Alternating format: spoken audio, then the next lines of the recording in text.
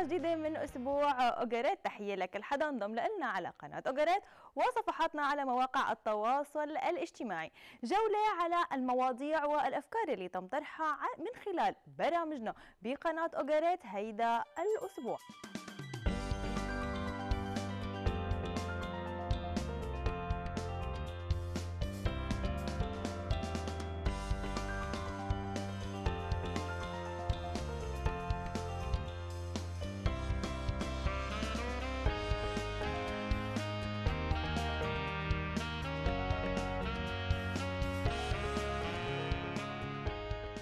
البداية أكيد من البرنامج الصباحي صباحات اللاذقية اللي بتتابعوه يوميا ما عدا يوم الجمعة من الساعة 9:30 للساعة 11 العديد من المواضيع والأفكار والضيوف كانوا معنا بصباحات اللاذقية هيدا الأسبوع. لهيك صباحات اللاذقية رح يكون له الحصة الأكبر من أسبوع أوغاريت البداية من اليوم العالمي للسكري اللي بيصادف ب 14 11 كانت معنا الدكتورة ليلى الشاني اللي حكت لنا عن مجموعة من المواضيع اللي بتخص عوامل الخطورة الأعراض طرق الوقاية وغيرها. خلونا نروح نشوف الدكتورة ليلى الشاني.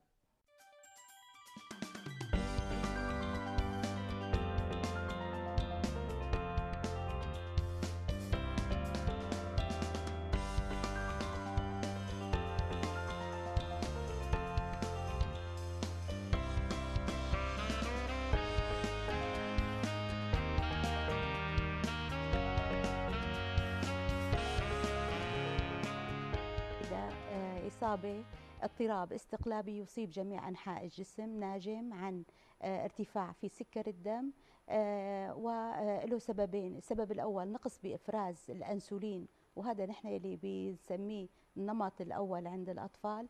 وفي عندي النمط الثاني ناتج عن اضطراب في المستقبلات الأنسولين آه هذا اللي بيصيب الأكبر يلي بنسميه نحن النمط الثاني. نعم.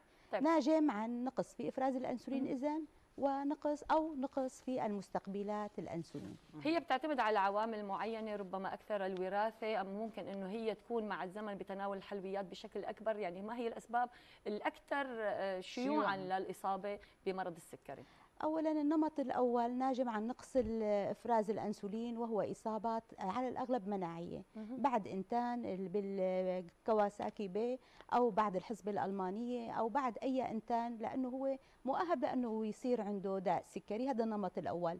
النمط الثاني لا عندنا الوراثة إلى دور كثير كبير. تناول الحلويات طبعا بشكل عام هو ما صحي ولكن ولكن قد يلعب دور بحدوث البدانه والبدانه ممكن تسبب لي داء سكري النمط الثاني سواء كان عند الأطفال أو عند الكبار. نعم. دكتورة ليلى يعني عم تحكي عن النمطين الأول والثاني. إذا بدنا نحكي عن آه، أعراض آه، داء السكري بالنمط الأول وأعراض مرض السكري طبعا نحن الأعراض الشائعة بيعرفوها كل الناس هي سهاف البوال يعني العطش والبوال. تبوال ليلي نهاري فهدول العارضين الشائعين بيكونوا عند النمط الأول والنمط الثاني. عند النمط الأول بيكون الإضافة للسهاف والبوال. ممكن الطفل يصير عنده نحول شديد أحيانا نوصل لمرحلة إنه تغيم وعي والنقل إلى المشفى وما بنعرف إنه سكري حتى يصير عندنا بالمشفى. أما النمط الثاني لا بتبلش أعراض سهاف بوال آه، اضطراب بالحس اضطرابات جنسية جرح غير ما بيندمل ظهور دمامل متعددة. هي الأعراض بتوجهني ممكن يكون يمكن النمط الثاني أخطر من النمط الأول أعراضه. هلأ بالنسبة لهيدي الأخطر عند النمط الأول لأنه بيوصل لمرحلة السبات يعني ممكن إذا ما نقز الطفل بخلال الفترة ونقله للمشفى ودخوله العناية المشددة ممكن يسبب الوفاة.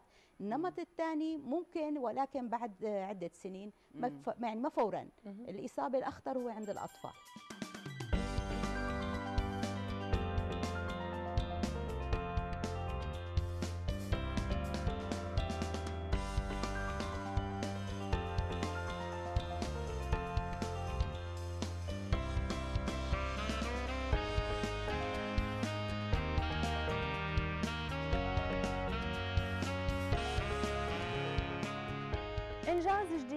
جديد لسوريا بكرة المضرب وتحديدا من خلال المشاركة بكأس ديفيس اللي بيعد من أهم البطولات العالمية بالتنس.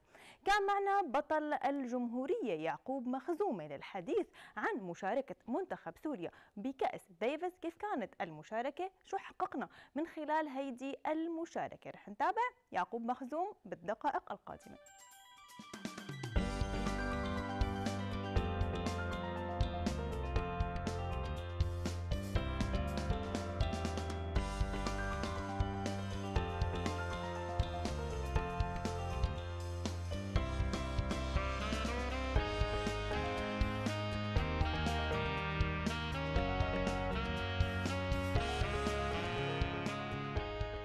سوريا ببطولة كأس ديفيس من حوالي ثلاث أسابيع. آه، كانت البطولة بأنطاليا بتركيا. آه، طبعا الحمد لله لعبنا كثير منيح وحققنا المركز الأول ربحنا على سنغافورة حلو. على العراق على الإمارات وتصدرنا المجموعة. حلو. فهي مبروك. هي نظامها إنه إنه مجموعتين كل مجموعة أربع منتخبات. نلعب X بالنصف نهائي. فالحمد لله طلعنا المركز الأول لعبنا ضد الكويت بالمباراة الحاسمة وقدرنا نغ- نغلبهم يعني. حلو. تعتبر من أهم البطولات بالتنس يعني هي اسمها World Cup of Tennis يعني كأس العالم للتنس هي مجموعات. مجموعة رابعة ثالثة ثانية نحن وطالعين. فالحمد لله هلا نحن صرنا بالمجموعة الثالثة تأهلنا له من سنتين وصلنا للمجموعة الثانية كمان. لعبنا مباراة صعبة مع زيمبابوي خسرنا بصعوبة. طبعا نحن الفريق بيكون عبارة عن أربع لاعبين ومدرب. كنا نحن أربع لاعبين مع الكوتش ليس سليم هو ال... وأنا وثلاث لعيبه هي بطولة كثير مهمة كثير يعني روح الفريق فيها يعني هي ما بطولة فردية. هلا بطولات التنس مثل ما بتعرفوا. لعبة فردية, فردية. بيلعب اللاعب لحاله إلا صحيح. بهي البطولة هي بتكون ثنائية. بتكون كفريق مثلا لعبنا ضد مثلا العراق كمثال تلعبوا لعبتين فردي لعبة زوجي. هو المدرب بيختار قبل بيوم اللعيبة يعني أنا كل سنة موجود بالفريق. حلو. هذا طبعا شرف كثير لإلي إنه ألعب لسوريا بهي البطولة المهمة. حققنا كثير نتائج منيحة تأهلنا بعام 2019 على جروب 2 هلا مثل ما ذكرت. و... ولعبنا ب 2020 آه، ضد زيمبابوي هي المباراة المهمة. آه، أنا كثير بهمني هي البطولة كثير مهمة لأي لاعب يعني بالعالم. إنه حلو يكون موجود فيها وعم يمثل منتخب بلده يعني. حلو. حلو. يعقوب بدنا نرجع لبداياتك. قلت من ثمان سنين انت موجود عم تلعب بالبدايات. كيف كانت آه، بهيدي اللعبة؟ آه، بداياتي والله باللاذقية. نحن يعني مركز مخزومة للتنس عمره أكثر من 40 سنة. يعني من آه، جدي المرحوم روبير مخزومة هو مؤسس اللعبة باللاذقية لوالدي رؤوف ل...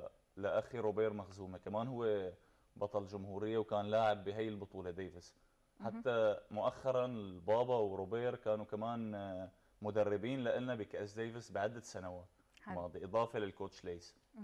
ف فأنا كنت أطلع معهم على الملعب يعني أنا وصغير آه، ألعب مع هاد حدا يلعبني حدا ما يلعبني. فشوي شوي تدرجت بالفئات العمرية ال 10 سنين 12 سنة صرت اربح بطولة جمهورية.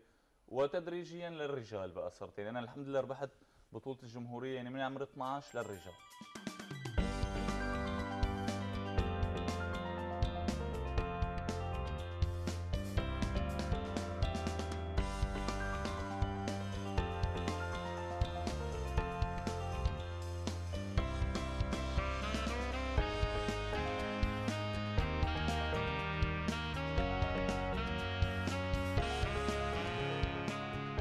مقهى ورق عتيق اللي كادر العمل من أصحاب القلوب النقية والضحكة اللي من القلب. خلونا نتعرف على ورق عتيق اللي بيميزه بأنه كادر العمل من المصابين بمتلازمة داون كنوع من دمج المصابين بمتلازمة داون بالمجتمع. خلونا نتعرف على هذا المقهى الأكثر بالدقائق القادمة.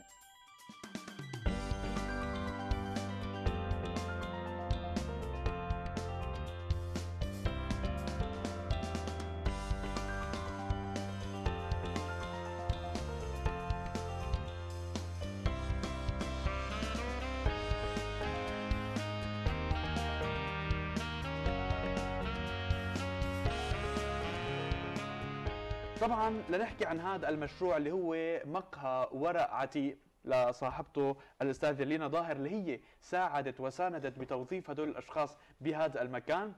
بصيرنا نستضيفها معنا بالاستوديو ونقول لها صباح الخير. يسعدنا صباحك يا رب. يسعد صباحكم. يسعد صباحك. صباح النور. آه، لينا خلينا نبلش بداية هيك من الفكرة. كيف بلشت عندك؟ يعني الفكرة غريبة وجميلة بنفس الوقت. كيف بلشت الفكرة عندك؟ أنا بقول لهم أي فكرة جديدة بدها تكون نابعة من احتياج الأشخاص.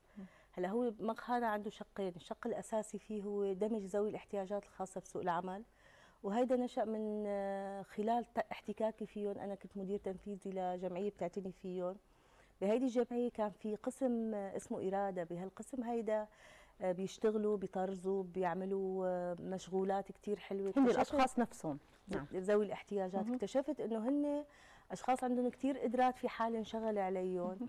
وهن مختلفين ما متخلفين مثل الصورة النمطية المأخوذة عادة. فكان نعم. عندي رغبة إنه نكسر هيدي الصورة ونحقق لهم إنه مجال يكونوا موجودين وفاعلين. هي بالشق الأول. بالشق الثقافي بعد الحرب اللي صارت علينا آه، كان لازم نواجه هالبشاعة بفيض جمال. الجمال ما بيجي إلا من الفن الموسيقى الرسم صحيح. الثقافة. فكان لازم نرفع السوية شوي بظل الانحدار اللي صاير. حسيت كمان لازم يكون ال- ال- الشريحة اللي بتتواجد بالمكان تتفهم وجود ذوي الاحتياجات. فكان مقهى ثقافي أول بسوريا الحقيقة. نحن أول مقهى ثقافي بسوريا بيدمج ذوي الاحتياجات الخاصة بسوق العمل. والتجربة أنا بتمناها تتعمم على كل مساحة الوطن لأنه عن جد اللي بيتعامل معهم آه، بحس قديش نحن عم نضيع على حالنا أشياء جميلة. نعم. حلو كثير طيب آه، قديش صار له أستاذة لينا قديش صار له المكان فاتح؟ يعني تقريبا. هلأ شيء سنة ونص تقريبا. سنة ونص من بداية من بداية الانطلاقة للمكان كان من ذوي الاحتياجات الخاصة هن الرواد. كيف طيب تم تأهيلهم؟ خلينا نحكي عن هاي الفترة هي بالتحديد. هلأ آه، بالأساس هن آه، بيكونوا موجودين بجمعيات.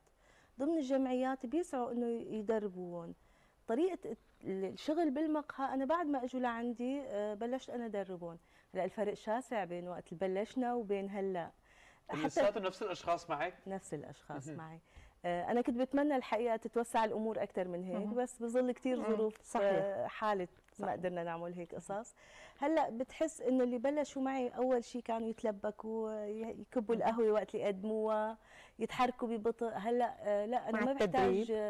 ما بحتاج وجههم يعني مثلا خلص آه، الطاولة فضيت آه، لحالهم تلقائياً. لحالهم بيقوموا بيشيلوا الأغراض بياخذون على المطبخ بيجلوهم بيرتبوا حتى لما بدك تفوت على المطبخ آه، بيشيلوا الأغراض بيحطوا كل شغلة محلها آه، بالريبورتاج يمكن اللي عملوا آه، البنوته عم تعمل القهوه رجعت سكرت ال-. هي الشغلات البسيطة اللي نحن بنعتبرها تلقائية. بدك وقت كتير طويل لحتى تدربوا عليها. يتعلموها صحيح. وأنا بالي طويل يعني وبحبهم جدا وهن بيبادلوك هيدا الشعور. يعني عندي مارسيل مثلا مارسيل ما بتقبل تروح من المحل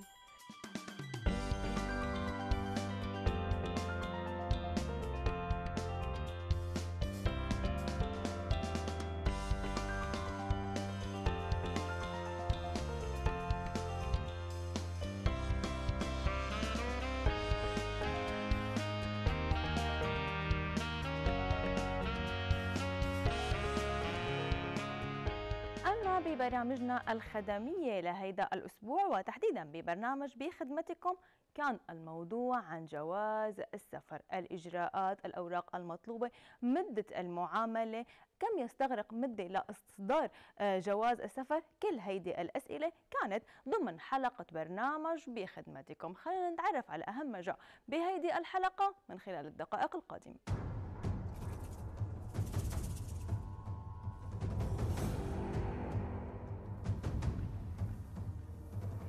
بيسعدنا يكون معنا على الهاتف سيادة اللواء خالد حديد مدير إدارة الهجرة والجوازات. أهلا بكم سيادة اللواء. أهلا وسهلا فيك.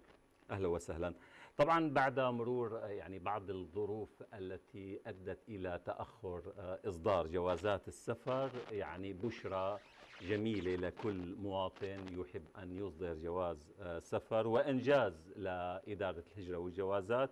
بتقريب الأدوار لصالح المواطن تحكي لنا بداية سيادة اللواء يعني كيف قدرنا نوصل لهالإنجاز الجميل اللي أسعد آه، كل المواطنين آه، طبعا نحن باشرنا بانطلاق آه، بمشروع الجواز الإلكتروني ب 20 8 ب تمام.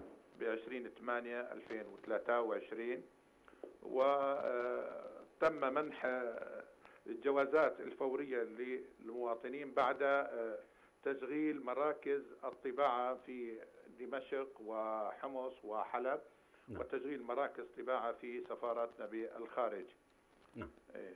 وقمنا بإنجاز كافة المعاملات المتراكمة خلال فترة وجيزة نعم. حاليا آه، قمنا بجدولة الدور العادي اللي كان آه، واصل عام 2025 بالشهر الرابع. آه، بخلال الشهر العاشر تم طباعة آه، تراكم ثلاثة أشهر الشهر العاشر وال11 وال12 حاليا يتم طباعة ستة أشهر جدولناها خلال آه، الشهر ال11 من الشهر الأول 24 حتى الشهر السادس ال 24 طبعا في 2 12 نكون منتهين من طباعتها. كما. قمنا بجدولة آه، الأعداد المتبقية خلال العام ال 24 وال 25 حاليا اللي عم يسجل على الدور العادي آه، عم يسجل آه، بعد 16 واحد عام 2024 ممتاز ممتاز. هذا إنجاز آه، جميل. ف وخلال الأسبوع الأول من الشهر 12 بنكون خلصنا المتراكم من الستة أشهر وسنقوم بجدولة أخرى بجدولة أخرى ونقل ال- البيانات الدور العادي على المنظومة الجديدة بحيث يرجع الدور العادي آه، على ال 45 يوم الجواز المستعجل 21 يوم والجواز الفوري خلال ثلاث أيام وتعود الأمور طبيعية جدا بالنسبة للإخوة المواطنين. طبعا وهي بشرى سارة لكل مواطن بيهمه إصدار جواز. سفر آه، بنعلنه عبر آه، يعني عبر وسيلتنا نقول الإعلامية للاخوه المواطنين إنه ما عاد في مشكلة بالحصول على جواز السفر. جميل جدا 45 يوم اذا الدور سيكون في وقت طبعاً. قريب إن شاء للدور الله- إن شاء الله. العادي طيب آه، سيادة اللواء يعني حاول حاولت بعض وسائل الإعلام المضللة آه، الحديث عن الجواز السفر جواز السفر الإلكتروني السوري ويعني الحديث عن عدم الاعتراف به وغيره من معلومات مضللة. ماذا تقول للمواطن فيما يتعلق بجواز السفر الإلكتروني؟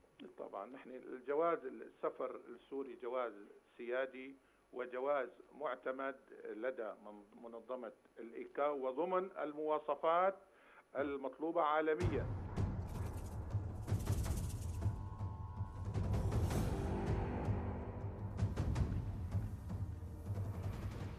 أما لمحبي الرياضة وتحديدا برنامج على المدرجات اللي عم بيتم بثه على إذاعة أمواج وقناة أوغريد فكان الموضوع هيدي الأسبوع عن عودة روابط المشجعين أو ما يسمى بالألترس آلية عمل هيدي الروابط الأهداف الدوافع كيف نحن ممكن نضبط الجمهور داخل الملعب لحتى نوصل للهدف المنشود واللي هو التشجيع بروح رياضية.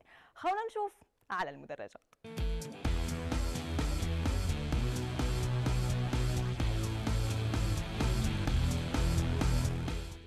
الرابطة هي حالة انضباطية للجمهور. نحن عنا ب يعني عملية ضبط بموضوع التشجيع طبعا. نعم. نحن نحن في معنا شركاء على المدرج. وشريك أساسي بالمدرج اللي هو آه، مجموعة الألتراس. نعم. بوجه لهم آه، آه، شكر وترحيب بعودتهم للمدرجات مهم. نحن في آه، تنسيق بيننا وبينهم بشكل دائم على ضبط الأمور ضبط النفس لحتى نعطي الصورة الجميلة عن نادي الشرين اللي عودنا كل الناس ووصل آه، جمهور الشرين للعالمية آه، بهي الصورة الحضارية. ونحن إن شاء الله بنضل نحافظ عليها. هلأ قديش ممكن يكون في تنسيق بينك يعني كرئيس رابطه وأنتم رابطه المشجعين تنسيق بينكم وبين الالترس، الالترس قدم مجهود كبير جدا جدا في السنوات السابقة وكان خير آه، مثال وخير شاهد يعني للجميع بأنه آه، فعلا قدم صورة رائعة، كيف ممكن أن توصلوا لصيغة معينة أنه آه، تعملوا شيء كثير حلو ويكون في ضبط لموضوع بدي أقول الشتائم مثلا في- البداية يعني؟ هلأ بس لك شغله أستاذ هو نحن ببدايه بس بداية القصة نحن كلياتنا اسمنا مشجعين نادي الشرين نعم. نحن محبين نادي الشرين بدون تسميات. التنسيق بيتم على هذا الأساس إنه أنت أنا وأنت تشارنا. نحن بنحب هذا النادي. بدنا نوصل الصورة الحلوة. مشان الشتائم حكينا والشباب متعاونين. كثير كويس. وحكوا إنه بدنا نحاولوا يضبطوا النفس كتير وأي حدا بده يسيء بدنا نحاول إن أنتوا الواجهة يعني يعني نوجه. له نعم. نوجه له أكثر من مرة إنه يعني ما في داعي لهي الشتائم. نعم.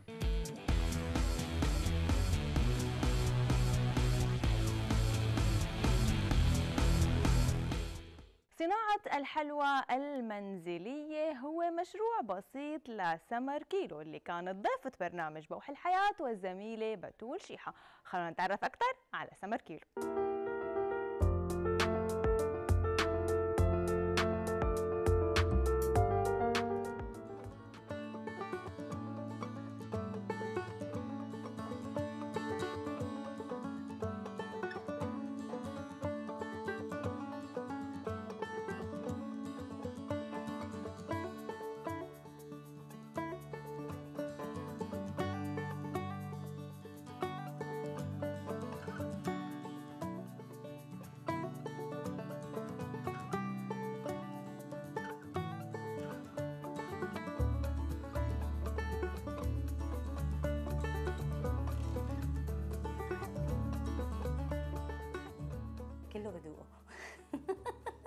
عن جد. إيه. بعدها بعمل رجيم أسبوع 10 أيام وقت بعمل الطلبية.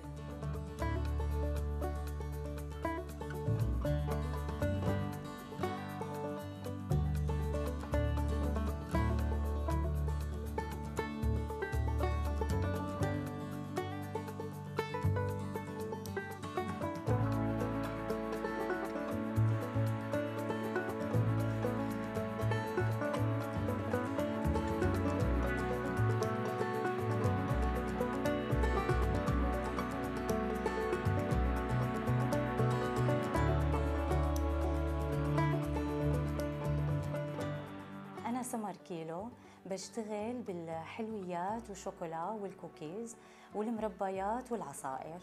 أنا بلشت هيدا المشروع من حوالي سنة ونص سنتين. آه، يعني آه، آه، أول شيء بحكم إنه أنا بحب الشغل بالحلويات. أول شيء بلشت الشغلة معي موهبة. بالبيت أنا بشتغل هيك. كل كافة أنواع الحلويات بحبهم. وبعدين فكرت إنه بطور مشروعي وبشتغل بشكل احترافي إنه بشتغل على التواصي آه، مشان أحسن مردودي المادي. آه، أنا بشتغل مثل ما شايفين بالكوكيز والكيك الكب كيك والشوكولا بانواعها والمربيات بانواعها آه، والعصائر كمان. آه، في كذا نوع مربى حسب المواسم.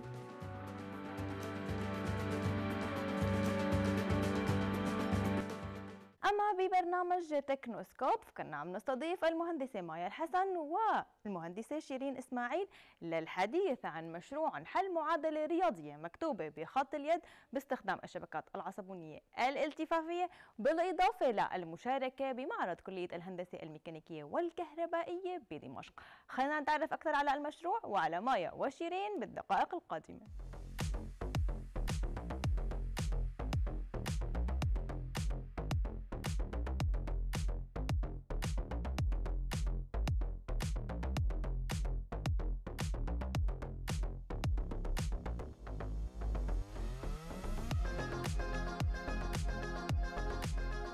فكرة المشروع تكون بمجال التعليم لأنه أغلب المشاريع عم تكون بالمجالات الطبية. تمام. ومجال التعليم يعني هو مجال كتير مهم يعني هو الأساس لكل شيء. فأخترنا أنه يكون تسهيل للطلاب لحل المعادلات وقت بيكونوا مثلا بالمرحلة الإعدادية وبلشوا يتعلموا المعادلات بيخافوا من المجهول بيخافوا من X بيخافوا من هدول الشغلات. فحبينا نحن أنه آه، نعمل لهم شيء سهل ما يكون في إدخال يكون في عن طريق صورة حتى تكون مكتوبة بخط اليد. حلو. يعني ما في داعي أنه هو يدخل فولا بتكون شغلة عادية. فعن طريق آه، حتى فيك iPad أو tab إنه بالقلم الذكي يكتب فيها أو إنه آه، صورة يكتبها بال- بقلم عادي يصورها على مم. على ورقة. مم. ويدخلها فبتم حلها. اخترنا السي إن إن لأنه هي أفضل من ناحية أختي... استخلاص السمات من البيانات البصرية مثل الصور وغيرها. السي إن إن قادرة إنه تستخلص ال... الشغلات السمات من الصور اللي نحن عم ندخل له إياها. تمام. مثل الرموز والأرقام وغيرها. حاليا بحل المعادلات من الدرجة الأولى. حلو. لأنه كان في عنا مشكلة إنه يتعرف على الأس إنه ما يأخذوا أمثال أو يأخذوا. شيء. هلأ هي واجهة مبدئية لسه ما عملنا تطويرات عليها. تطوير طبعا. طبعا. إنه ممكن نضيف خيار إنه تصوير مباشر من الكاميرا كاميرا. اللابتوب. تمام. آه بعد ما المستخدم بيدخل له الصورة ال- صورة المعادلة هون بقى بدنا نعمل مجموعة عمليات على الصورة. تمام. آه بحيث تكون مناسبة لأنه تدخل على الشبكة العصبية المدربة. مم. لنقدر نحن نستخلص المعادلة منها وتعطينا المعادلة بالنهاية بواجهة فرعية تمام. مع حلها.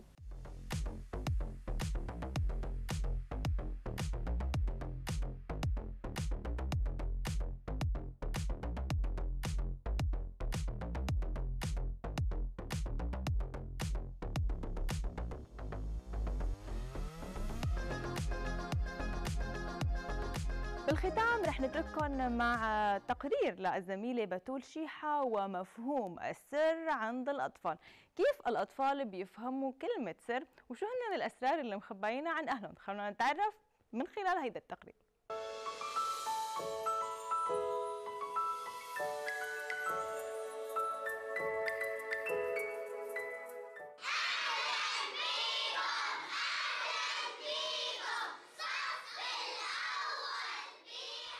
المراحل العمرية الأولى بتربية الطفل أساسية وضرورية باكتساب القيم اليوم سألنا طلاب الصف الأول شو مفهومهم عن السر لمين بتقول أسرارك؟ لماما اللي حبيبي قولي لي شو يعني السر؟ يعني ما بصير نحكي لحدا أنت بتحكي لحدا أسرارك؟ لا لكن حدا شي مرة إجا حكالك سر وقالك لا تقولي لحدا؟ إيه مين؟ شفيتي طيب شو يعني السر برأيك أنت؟ ما لازم نحكي لحدا أنت بتقولي أسرارك لمين؟ للماما والبابا كان عندي سر نسيته نسيته؟ طيب رح نروح عند رفقاتك تذكروا وعيط لي أوكي؟ سر يعني ما لازم حدا يقول له لحدا هذا مثلا إذا مسوى هيك بده قايل لحدا شغلة وقال له ما هيك ما لازم نقول له لحدا لأنه لازم يبقى سر نايا قولي لي شو أنتوا البنات بتقولوا أسرار لبعض؟ نمشي بنتمشى و- ونحكي هيك اسرار بس ما فيني أقول لحدا ليش ما فيك تقولي لحدا؟ لاني هذا سر طيب بس إلي أنا ما بنقول لحدا أنا وأنت سر بين البنات قولي لي أنتوا البنات شو الأسرار اللي بتحكوها لبعض؟ آه، ما كانت تقولي رفيقتك عادي عادي ما بعرف ما بتمشوا مع بعض بتقولوا أسرار؟ أمم، مثل شو؟ نسيت لا أنا ما بحكي لرفقاتي بس بحكي لماما وبابا آه ما بتقولي له لرفقاتك أبدا؟ طيب شو يعني السر؟ إني شي ما بيعرفوا حدا تقولي أسرارك لرفقاتك البنات؟ لا ليش؟ هيك لأنه سر لمين بتقولي لك كان؟ ما لحدا لماما وبابا بس الأطفال وبالرغم من هالعمر الصغير قدروا يوصلوا صورة صحيحة للمعلومات الأولى عن السر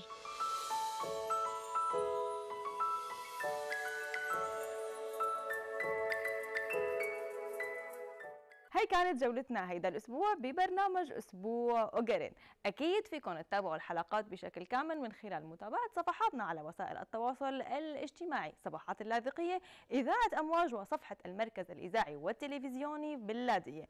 وللتذكير أكيد عم بيتم بث كامل البث قناة أوجريت على قناتنا على تطبيق التليجرام. لهيك يرجى الانضمام. أنا بشوفكم الأسبوع المقبل بحلقة جديدة. للقاء